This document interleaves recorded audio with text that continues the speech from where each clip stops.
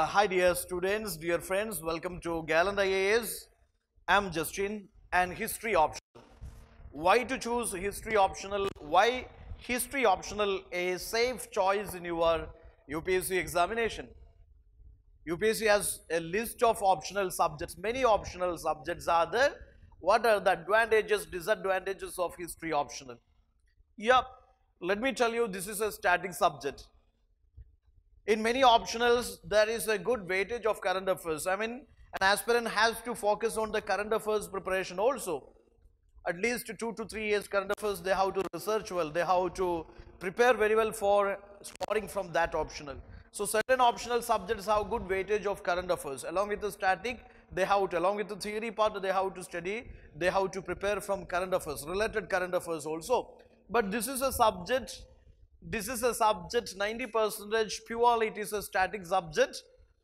If you have covered the uh, genuine reference books, genuine reference books or genuine study material, if you have done the syllabus very well, you can have a decent score from history optional but you must have a very unique way of approaching history optional very unique way of answering history optional questions most of the areas are predictable here if upsc has ancient india ancient india has 10 modules questions would be asked from those 10 modules only if upsc has paper 2 and uh, history optional paper 2 and it is modern india and you study 15 units from modern india same questions would be asked from the same syllabus only. They will not pick a question, frame a question from outside the planet.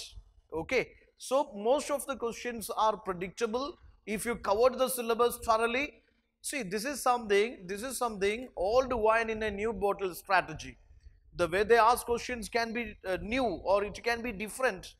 But if you know the content, if you have a good skill of presentation, any questions are answerable. You can always score Yes, a decent above average. You can always write a decent above average answers. You can score well with optional if you have unique method of preparing history optional and answering history optional.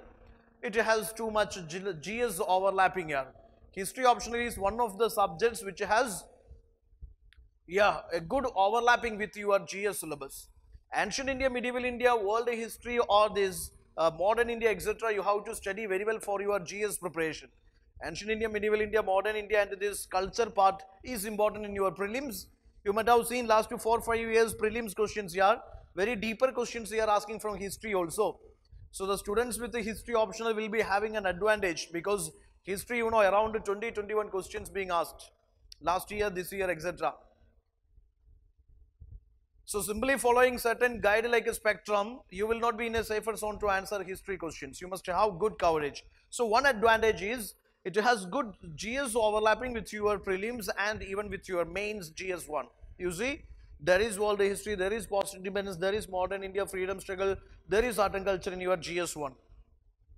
Okay, so a good and personalities you study in ethics also. You have to study in ethics also. So it has good overlapping with your GS syllabus, prelims and mains and it is not a fact-based subject here. Many aspirants still believe that history means you have to memorize so many years names of the kings, queens and their granddaughters or grandsons. It's not like that. It is not like that. History optional means it is not a memorization of facts and figures. Basic factual information you have to learn for your prelims here. Be it environmental science, biosphere sanctuaries or these national parks or various like you know species, endangered species or organizations, environmental laws or coming to polity, constitutions or maybe articles, various articles or coming to your economy, coming to geography, coming to history, in the prelims itself you have to do, yeah, you have to learn lots of factual informations for your prelims because UPSC has both uh, analytical type of questions and factual questions. So same effort is required for history optional also. This is not a fact oriented optional. Just like other optionals, this is also paka analytical optional. You should have, you should develop analytical skills on various themes in history. you can follow a story mode. Don't take it too much hard. You are not doing PhD here. Your basic intention is to just uh, finish the syllabus, practice very well, score well in your paper 1 and paper 2 in the examination. So, just follow a story mode. There is no need for by hearting certain theories and the formulas and the definitions etc. Nothing is required here. And another advantage is like even if you are doing this history by self, you know, abundant sources are there. Certain sources will misguide you, certain sources will give you the right direction. Anyway, abundance of sources is another advantage of this optional. Certain optionals does not have or do not have abundance of sources, abundance of this uh, study material. No theories, no definitions, no such things are formulas are required, uh, I mean required here and uh, this is an art subject anybody can follow. Science and non-science background students can follow this optional. And if you ask me about a scoring pattern, because this is also a, myth in the town that uh, history is not a scoring optional.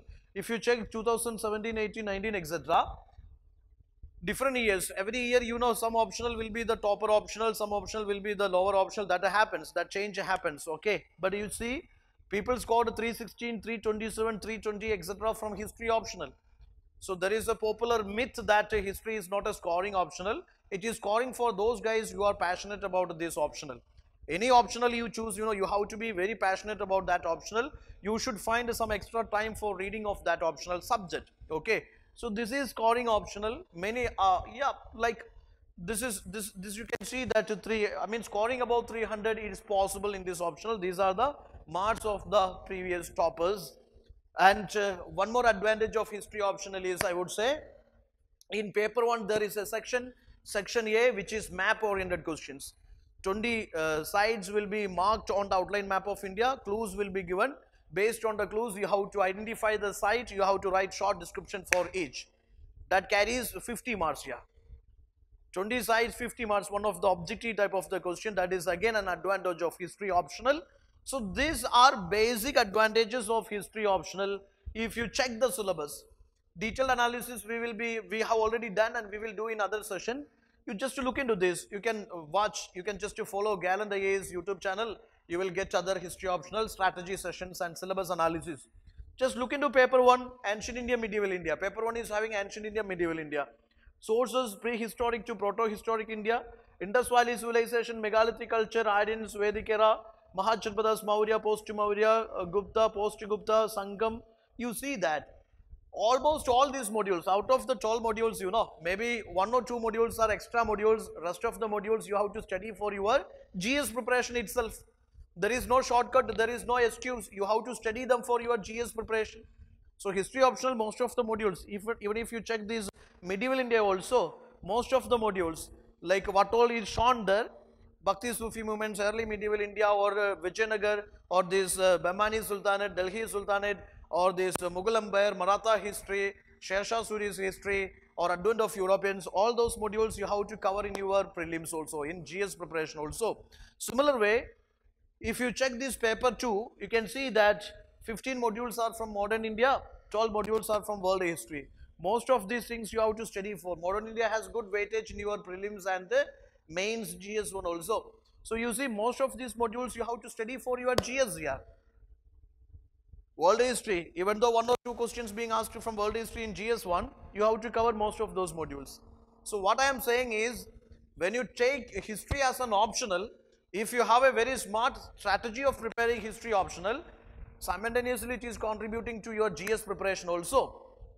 That is an advantage. That is an advantage of history optional.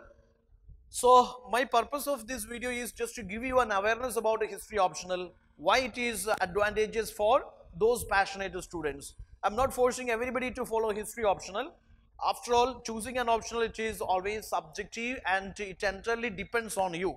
If you are passionate about that particular subject, definitely you can go for it. And we at Gallant IAS provides one of the best classes, material, test series and mentorship for history optional. Uh, even you can follow, you can watch our sample sessions in our website also. That's it. Just go for it. Choose your optional as per your passion, your interest and uh, uh, there are no such uh, criteria to choose an optional. Most important thing is your passion. Your love for that subject matters. Okay. And if you get best uh, mentorship or guidance for that optional with the good classes, good material, good test series, good mentorship, definitely go ahead. All the best. Thank you.